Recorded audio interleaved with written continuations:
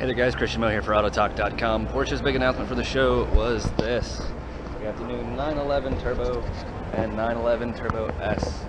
These two cars are a little more than a refresh, but they still look nice and it's good to see Porsche pushing boundaries on their turbo cars. We want these things faster and we want these things more powerful. So the new 911 Turbo and Turbo S are just mild refreshes of the current cars we have on sale, but they still certainly look beautiful. I love the classic gray paint on this one. You have those beautiful headlights, these gorgeous 20 inch alloy wheels, and of course that sexy, beautiful 911 silhouette. So a little more than a few touch-up design changes, but it looks great. New 911 Turbo from Porsche. So again, I'm Christian from Autotalk.com. Thank you guys.